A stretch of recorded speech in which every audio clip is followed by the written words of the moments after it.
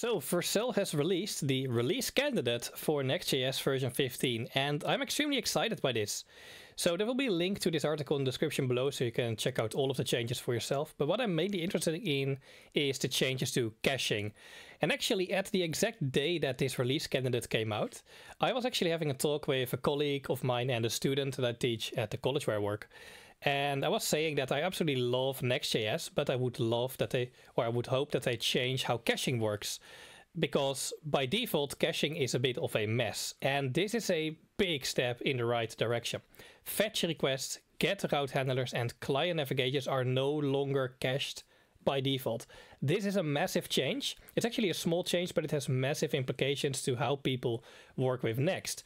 Because I have seen so many people, and I've been one of these people who just didn't understand how Next.js does caching. Because caching in Next.js is complex. I mean, this here is the documentation page for the app routers caching. Um, and this is actually a documentation page that was created after feedback from the community who said caching is hard, caching is vague, please give us a good documentation page. And what the developers came up with is this page.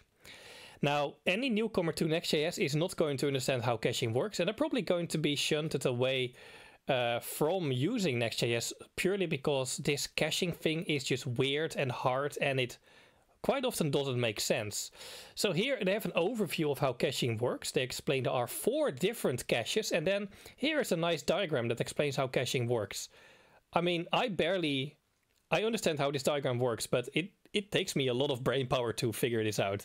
This is difficult, guys. Caching is weird in Next.js. It's really powerful and it's probably one of the best implementations of caching and the most powerful and even configurable ways of caching in any framework that I've seen. But it's just weird and it does caching in moments when you don't expect it. Sometimes it does it and then the next time you reload, it doesn't cache. It's really weird. So disabling caching for the most aspects of caching by default is amazing. So what we're going to do in this video is we will check out three different projects, or sorry, two different projects. I have them running in side by side. In the left window, we're running Next.js 14, the current version, and in the right window, we're running Next.js 15, the release candidate that was just released. And here I have two instances of VS Code open where we can have the same code. So I'm going to run the same code for Next.js 14 on the left and Next.js 15 on the right. I have my two terminals open running those servers in dev mode so we can see exactly what's happening. Right, so what I've done here is in the app directory, I've created a folder called server component, and then there's a page in there. And this is the same on both of these sides. And all that this server component is going to do is return a main element with an h1. Now, of course, if we check this out in the browser, it does what you would expect. It serves that component. An interesting difference or an interesting difference that we'll see when we're going to do some fetching in these components is when you're going to build the app. So let's npm run build with both of these uh, projects. And as you can see in the build log, the path slash server component is labeled as being static. And it's in both versions. And that's exactly how I would expect it because we're not having any dynamic data in these components. We're not fetching data, we're not grabbing data out of database and putting it into the HTML. But watch what happens if we will actually do some dynamic stuff. So I'm going to make the function asynchronous, and then we're going to grab a response by awaiting fetch. And the URL I'm going to fetch is worldtimeapi.org slash API time zone Europe Amsterdam. This will give us a JSON object with information about the time at this location. Um, so the time, of course, constantly changes. So this is basically a dynamic resource that continuously changes or that changes quite often. Um, and then, of course, we want to get the data. So we will parse the response JSON object. And then I'm going to just create a paragraph here where we're going to print out data.unix time. This is one of the fields that we get in that JSON. It's basically a time string with the current time in Unix format and it will constantly change with each second, I would, uh, I would believe. So let's add exactly that same fetch in our Next.js 15 component. We'll make this an asynchronous function, and then we'll show that Unix time. So we've just saved this component. Let's go into the actual uh, browser, reload the pages, and let's see what we're going to get. Oh, and of course, because I was building, we need to run the dev server once more. Let's do that. All right, so let's uh, let's see what we're going to get here. So on the left we have next 14, on the right we have next 15. Wait for the dev server to build these components, and you can see that we get this Unix time string. Now watch what happens when we're going to refresh this page. So here we have next 14 on the left. I refresh the page, we have the same time string. Version on the left, reload. Version 14 doesn't actually update my time string. Why not? Because you would think that when I load that page, it's going to go into the router. It sees, oh, we need to render the URL server component. Here's the component for it. Let's run the function which should fetch it and then show it in the HTML. And that's not what it's doing. But let's check out version 15. I'm going to reload and look at that. We get the newly updated time string showing us the seconds in the Unix time format. This is how we would expect it to behave because we literally are executing the function, then we're fetching the world time API, we get the data and we're showing the Unix time. This is how I would expect it to behave, not like this. On the left we have Next 14 and this is just running really strange. So I'm not a big fan of Next 14 where it caches everything by default. Now let's go ahead and take a look in this actual diagram and see what actually it's doing here. Just going to open this in a new tab. So we have the full image here what actually is happening in version 14. So at build time, the app is building our page. So this will be slash server component. So when we're building, when the dev server first encounters a request for slash uh, server component, or when we run the build command, we are going to render the component on the server. Now in that component, we will fetch some data. Now, I'm not going to talk too much about the request memorization cache. It's really interesting and it doesn't change between version 14 and 15. This is actually a feature of React, so it's not part of Next.js. So we can kind of ignore this. If you want to know what this does, because it's really useful and really interesting, you can read about it in the caching documentation page on Next.js. I recommend that you do this because it's good to know about how request mem memorization works but you don't really have to think about it. It's not one of those caching things that Next enforces upon you that is sometimes desired and sometimes not. You basically always want request memorization. So we'll just skip that. But then the server is going to look in a data cache. This is persistent, meaning that the data, the JSON data, that is the response from any fetch request, will be saved as a file. Now, the very first time that we built this app, we don't have that data yet in the data cache because we never made that request. So it's going to fetch it from the data source, the actual URL to the world time API. We're going to get that data. The JSON data will be set in the JSON. We'll skip the request memorization. And then we get our render payload. This will be basically used in the HTML that is returned from our component. So we get the server-side HTML both the payload with the JSON data and the HTML will now be cached in the persistent full route cache, which caches the server component's payload, which is all the data that component needs in order to show it in the, in the client, and of course the pre-rendered HTML. This is basically where your static pages are going to live. And then when the page is requested for the first time, we're going to fetch that from our server. We're going to look if the full route cache has the root slash server component, and it will have it because we had already built it at build time. And then it will serve that. On top of that, that payload, the data of the component, is now also remembered in a router cache in the client. So the HTML is cached on the server and the payload. Very quickly, we just need to sing very simple request with, which returns some JSON and some HTML to get that page. It's not going to fetch it when we request it because it's already cached. And then it's going to also save the payload, the data in memory. So later when we're going to check the, the differences between version 14 and 15 with client-side navigation, this router cache becomes important. But right now, we haven't done any client navigation, so we can kind of ignore this for now as well.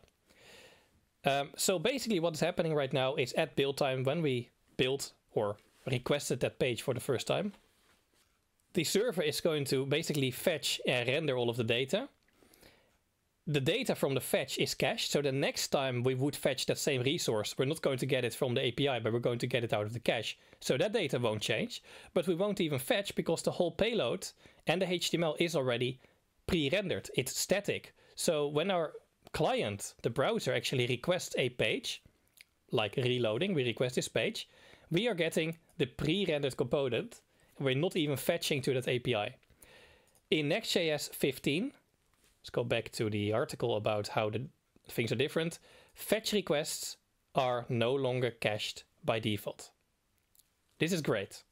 Now in Next.js 14, if you didn't want this, to, this data to be fetched, or cached I should say, you could add an object in your fetch function and you would say cache equals no cache. So when you would do that, now your data cache and the full route cache are basically skipped and you would always get a new fetch. So your whole server component is re-rendered and you basically create what we call a dynamic component. Now this is kind of an annoying way to set this up in my opinion because it already requires three lines of code and you might have other fetches that also need to be not cached. So what you could also do, at least you're supposed to do, you would export default const, sorry, not export default, export const dynamic. So you just export a variable dynamic and Next.js will read that value when it is rendering the page and we would say force dynamic. Now this has always been a really strange thing because it doesn't work for me. So watch this, I have set it up to force dynamic, I'm going to reload and it doesn't work. I think it will work in a uh, production build, so when you run the build command, but not in the development server. I might be wrong on that, but this has never worked for me in development. What you can also do is export revalidate, and this is basically a timer that you put on all of the data cache uh, values that are cached from this page, um, and a timer in, until it needs to be revalidated. And if you set it to zero, it basically invalidates the data cache always, and you always revalidate, basically refetch the data. So this is how you make your whole page a dynamic component. Now let's check out the difference here when we are going to build this. So npm run build and npm run build. Now I didn't have to do this on my server of Next.js 15 because as we have seen on Next.js 15, the fetch data is no longer cached in the data cache and the server components as long as you're using fetch, are no longer cached in the full route cache. We're still caching by default if you don't have anything dynamic happening like a fetch, so when we only returned the HTML, that HTML would still be cached in the full route cache. But now that we have this fetch, the component became a dynamic component. So let's check out the build log here, hopefully in a few seconds, and it will tell us which of our paths are, uh, there we go, are dynamic or not. So you can actually see that our Oh, this is actually uh, probably a bug because it still says that my server component is static, pre-rendered. That's not the case. So I, I, guess they haven't updated the build log yet. Remember, this is a release candidate. So this should show f dynamic like it does now over here. So the moment that you fetch something, your component becomes dynamic. At least that is how I believe that it should work. So this be, should be a dynamic component automatically. But now with us having explicitly stated that this whole component needs to be revalidated every time, the component becomes a dynamic component. So you had to opt out of caching in Next.js 14. If I wanted my component in Next 15 to be cached, I could do that in exactly the same way, but now we're opting in. So I can add an object to fetch, and I would say cache equals force cache. This will now cache this data. Or if I wanted not to put it on the individual fetch, I could export const dynamic equals force uh, static. And this is going to make the whole page a static page. So automatically now Next.js will make your component dynamic if it sees that there's a fetch happening in that component. And if you don't want that, you can now opt in to caching with export default force static. The next change to caching is with get route handlers. So when you made a route handler, so you built a route.ts file, um, if you had a get endpoint, the data returned out of that get endpoint would be cached in the data cache. This means that if you are fetching or generating or uh, searching your database for some potentially dynamic data, the get endpoint would always return the same initially cached data in version 14, which makes even less sense than in your server components, in my opinion, because the whole idea of setting up a get endpoint usually is to fetch some external data, like connect to your database or do whatever. Um, and usually that data is quite dynamic. I would say 9 out of 10 times, maybe. So now they have changed this, it's no longer cached by default. So let's check out an example. What I've done is I've created in the app directory the API folder and a time folder, and there's our route handler. And I've done exactly the same with next version 15. And this route handler is now just an API endpoint. It's not a server component that renders the data to HTML. It just serves the JSON from WorldTime API. So we have the exact same fetch to the WorldTime API. We parse the JSON and then we're sending that JSON in um, our response. And here's the version 15. We're doing exactly the same code. So check it out. I'm going to fetch the slash API slash time and we will get our JSON response. Um, let's enable pretty print here. So we'll do the same URL in Next.js version 15, but it's running on a different port here. All right, there we go. So you can see that we got our Unix time value here. That is the value that we were printing in our server component before. And here is version 14. So this is an API, right? We're not statically rendering a page or whatever. This is literally an API endpoint that, as far as I'm considered, whenever I hit that API endpoint, it should run this function running the fetch and it should return the JSON. But this JSON data is now cached in the data cache. So watch this. If I reload this page, so the Unix time is currently 8110 as the last three digits. We're going to reload and it's still 8110. Reload once more, it's still 8110 because the very first time I hit this endpoint, it's been cached. Makes zero sense to me. This is the version 15. We're going to reload. The last three digits are 575. We're going to reload. 579, couple of seconds later, reload 582. So this is no longer cached by default, as you would expect. This is literally how API endpoints should work. I create a request, it's a GET request, we have the URL to this route handler. The route handler sees, hey, this is the GET method function, so let's run it, and it fetches the data, and it responds that data. That's literally what my browser is requesting here. Now, if you want to opt in of caching or opt out of caching in the old version, you could do that again by in version 14. If you want to opt out of caching, you would add the cache option, no cache, on your fetch. So this will now, if I just reload this, so the last three digits are 6 to 1. You can see 6 to 4, so we've now opted out of caching. Uh, or similarly, you could set your revalidate flag here, so export const revalidate. And you should also be able to do it with the dynamic equals force dynamic, but that doesn't work for me for whatever reason. You can set it to zero like this, and now it will be a dynamic endpoint. But I'm going to leave that out. Instead, if you want this API endpoint data to be cached, you can now opt into caching. So you can have a cache object with force cache. So now this data from this particular fetch will be cached. Or if you want to cache the complete path or the complete route, you could do export const dynamic equals force static. So I can label the whole path, the whole route to be static. So you can do it in different ways. I'm just going to leave this out. Let's uh, create another build once more. npm run build and we'll see what the build will tell us about which things are dynamic. Now as we have seen um, the Next.js 15 doesn't really show us if things are dynamic or static correctly so Remember, this is a release candidate, so they're still changing things, but let's check it out. All right, so interestingly, our API in the version 15 actually is shown as dynamic. So our API routes are dynamic by default.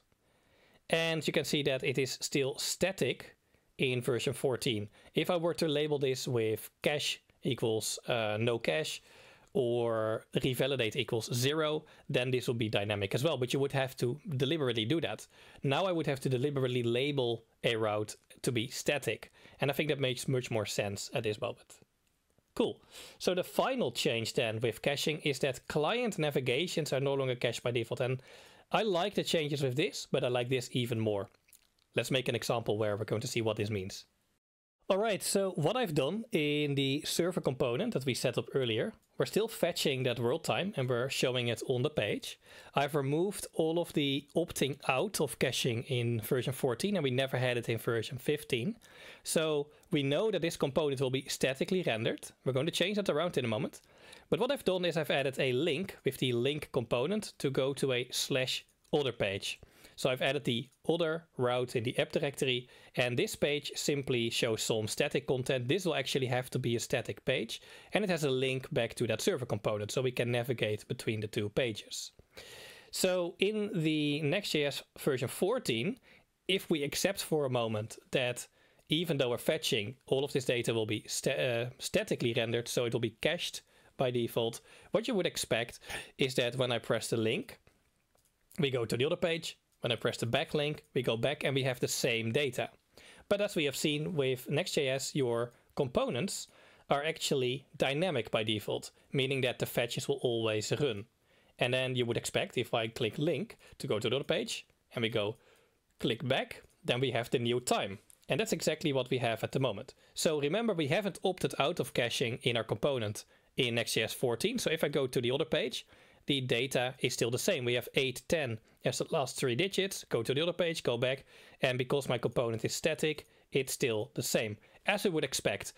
It's not what I want. I want the component to be dynamic when we are fetching, but we know that that's the case in version 14. In version 15, as we have seen, our component always re-renders because we're using a fetch. We don't have to opt out of caching, we have to opt in. I have left it alone so it is not cached by default. So we have 981, I'm going to redirect, 993, 995. So this is of course rendered again. However, this is what you would expect from reading the changes to the fetch request. But what does this whole thing about client navigation mean? Well, let's go and check out this diagram once more. We also had this in-memory router cache. So we have already built our app at the moment. In the version 14, the server component and the other page component are both cached in the full route cache. So that means all of the data from, for example, our fetch is cached, but also the pre-rendered HTML. So at request time, when my browser actually requests these pages, when I reload the page or when we navigate, um, we are going to request from our server slash server component, for example. Now the client is going to look in the browser's own memory in the Next.js router cache to see if we already have that payload. If we don't, we're going to request the full route cache for that path. So we're going to get the pre-rendered slash server component page from the server. That is going to be shown in the browser, but we're also going to save that payload, all of the data. So in our case, the object with the Unix timestamp, that will also be cached in the browser. And this means that the next time we request our page, we don't have to send a request to the server because we already have the whole payload in the browser. So the same page is just reused over and over again in the client. We're not getting anything else from the server. And this is a problem.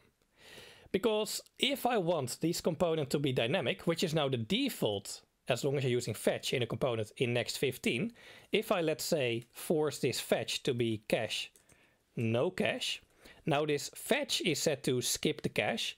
So you would think, okay, we no longer are going to store the data in the data cache and the full route in the full route cache. So you would think that on a re, uh, request of the page, we're going to have the server get the data source again and fetch the whole thing.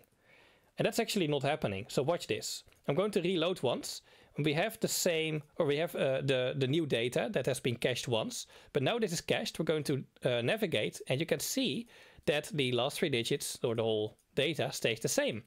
Well, wait a second. Haven't we labeled this fetch to use no cache? Well, yes, but no cache doesn't interact with the browser or the client router cache. It only disables the full route cache and the data cache. The router cache is still active.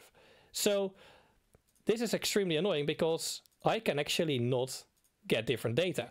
There is, however, something more confusing. You may have noticed that the data has changed once. I didn't do a full reload of the page. So there's actually a timer on the router cache. And if the timer expires, and I think by default it's 60 seconds, I might be wrong, or it might be 30 seconds, whatever it is, then you will still create another request to the server. And because on the server, in our server component, remember we're not using clients or whatever, this is a server component, this has disabled the cache, so only then will we skip the caches and fetch the new data source and render the new page. But it only happens once every, let's say 60 seconds. So let's see if the timer has expired again. So we have 154. There we go, 204. So this is the weirdest behavior in the browser. For the user, or from the user's perspective, the page, which may contain dynamic data, only updates randomly every now and then. If I go back and forth to some other pages, we have the older data. And if I sit here for another minute and I go to another page and I come back later, then we'll have suddenly even more new data. So it's weird, right? And this makes zero sense to me.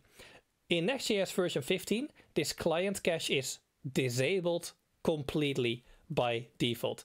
And you can actually re-enable it if you want to.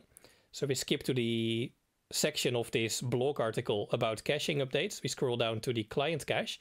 You can still enable it by setting up the timer, the stale timer, for your caching in the next config. So you don't have to do anything in your code. If you want the client cache to be enabled again, you just set how long do you want that client cache to remain. So if I re-request now, you can see that for 60 seconds later it has re-request. So I think it's 60 seconds by default, I might be wrong. You can just enable it again, but by default it's completely disabled. And that is what we need. Yes, this created an even faster um, behavior for um, you know navigation because your pages would not have to be requested from the server. There would be no HTTP request going out until that timer has expired. But you would deal with stale time, stale data, and it just doesn't make sense because if you have something that changes often, there wasn't an easy way to opt out of the client cache. What you would have to do is on your server, we can actually check this out in the documentation. So let's check out the router cache. Opting out, it is not possible to opt out of the router cache. This is version 14. However, we can invalidate the router cache by manually calling something like revalidate path. And so what you had to do on the server is you would, on your server point where, let's say the data would change that you want to show on that page, then you would also have to call revalidate path, and then you would have to write down the path that you want to revalidate in the client. So this means that whenever the data in the client actually changed, and you had run that server side revalidate path function, then the client cache would be revalidated and it would request the payload from the server again. And this was so weird because I would now have to think very carefully about where and when the data changes.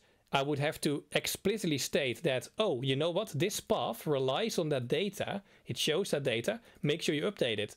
Well, what if I have hundreds of different paths that all have that same data? Do I have to revalidate path with all of them? Well, maybe not, because there's also another option which was revalidate tag, uh, wherever it is. Okay, I'm not going to look it up. So there are some options, but you can see this is just so confusing. And you simply couldn't opt out of the router cache before, which is ridiculous. And I still don't like how it works currently because you have to opt in and out to its complete form in the next config. And I would love to have just an option here that says, hey, you know what, this is a page component. Just disable the client cache for this page. That doesn't work, sadly, that doesn't exist. The behavior in the new Next.js version 15 is much better because the navigation cache is just disabled by default. So as long as your server component is listed to be dynamic, which it is by default, as long as you're using fetch, you will now have no caching. Now, if I enable caching, let's say for this fetch, so cache equals force cache. Now, of course, this is a static component. And if I do one reload, we have the 440, and I'm going to navigate. And even though there is no client cache happening here, we still are getting the same data because it's cached on the server. And this is how it should be. The server will cache the data, that the server has created. And the client should not have any control because there's always, of course, a mismatch between client and server. If the server would update something, the client wouldn't know about it. And the client thinks, you know what, we have our cache, let's just use that data. And the client wouldn't know that the server has already updated, unless you use revalidate path or revalidate tag. Now it's all so much more streamlined and it all makes sense. Right, so this I think is an absolutely enormous update even though I think the actual changes that they applied are relatively small, but just in the way that we work with Next.js, this is so incredible and it's probably my favorite change that they've made since the app router. I love Next.js, I love the app router, And now with this change coming up very soon in the next few months in version 15, Next.js has definitely be my um, yeah best framework, favorite framework I've ever used, and I barely have any problems with it anymore. There's still some things that they should be changing. They are still working on some more things. They're continuing to improve caching in Next.js in the coming months. I would love to see what else they're working on because already this change is incredible. Let's see that. Uh, let's see if we're going to have even more incredible updates. But anyway, guys, that is how caching works and used to work, or well, still currently works in version 14. Feel free to test out the um, release candidate. You can actually scroll down on this blog article. They have made an update to create-next-app so the default template has been changed. It's a bit more minimalistic and you don't have to remove as many things. It also allows you to choose if you want to use TurboPack now, so you don't have to install it separately. Uh, if you want to run uh, this release candidate and test it out yourself, you can run the add rc after create-next-app, uh, other than add latest, which would give you the version 14. I'm not sure when version 15 is going to become stable and the actual release.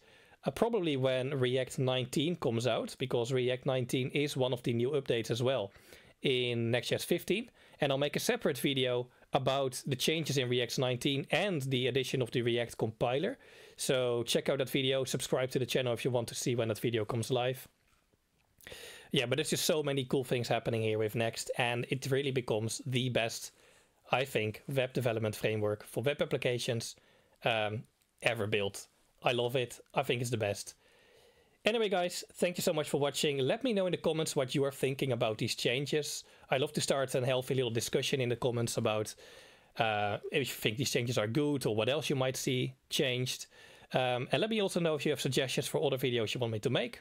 Subscribe and like to the channel. That's the best way to help out uh, this channel grow. And I hope I will see you in my next video. Goodbye and uh, enjoy your developing with Next 15.